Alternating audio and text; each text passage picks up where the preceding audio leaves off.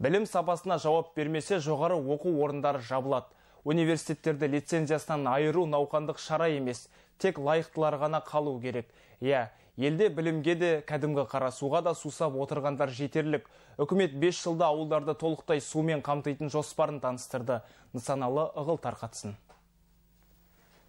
Сапалы ауыз суға 2000-дай ауыл сусап отыр. Үйдегі шүмектен нәр беру керек, Ақбұлақ бағдарламасы да баянсыз болды. Енді үкімет тағы үміттендіріп отыр. Осы жылдың қорытындысы бойынша ауыз сумен қамтамасыз етілу ауылдарда 91-де 8 пайыз, қалаларда 98 пайыз болады. Сонымен қатар қалған ауылдық елді мекендерді сапалы ауыз сумен қамтамасыз ету жұмыстары жалғасады.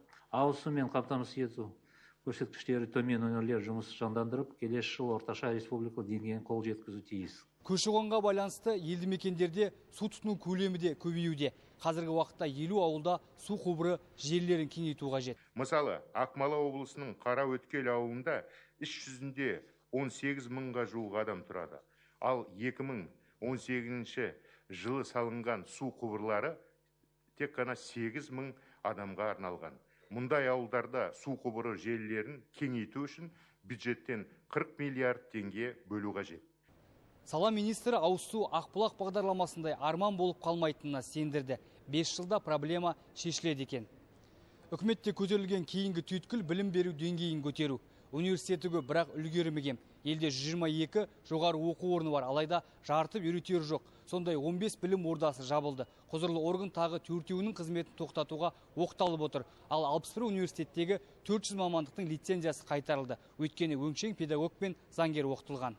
Өзі 120 университеттің 86 университетінде педагогтер дайындаған саны бар бірақ сапасы бойынша көп сұрақтар туындайды.